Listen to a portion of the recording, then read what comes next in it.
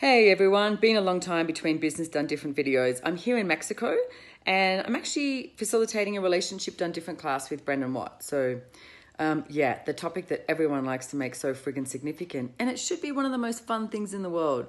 But I'm not here to talk to you about relationship done different. I actually wanted to talk to you about uh, something I've been looking at recently with business, and it's contribution. So when somebody asks you to contribute or you're looking at contributing to, you know, a project or a business or a person, etc., what do you go to? How many of you go to what you can do? Right? You go to this place of like, oh, I've got to solve something. I've got to find a solution. You know, what can I do? What can I fix? How many of you go to what can you fix?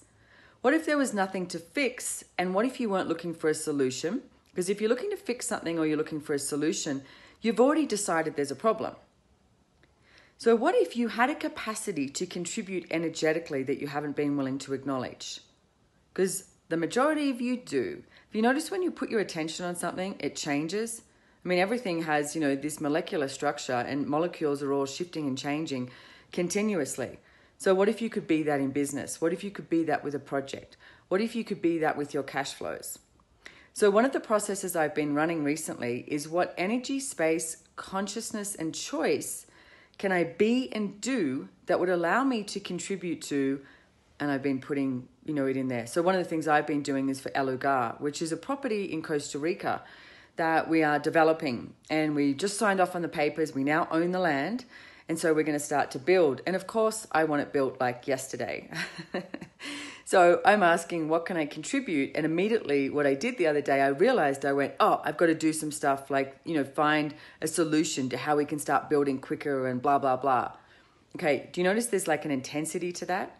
And how many of you create this intensity with your business and your projects that don't allow the space of possibilities to show up? So here's what I've been running.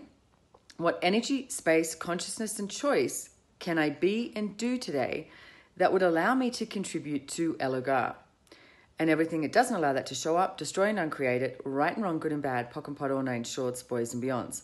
So if you put your business in there, what energy, space, consciousness, and choice can you be and do today that would allow you to contribute to joy of business?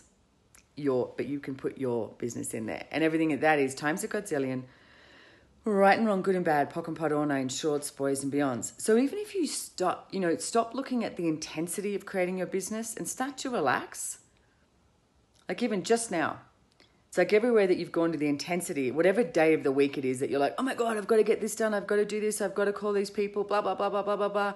And you create this frenzy. Intensity. Intensity is based on judgment. So, how many of you are in constant judgment of what you can do and what you have decided you cannot do?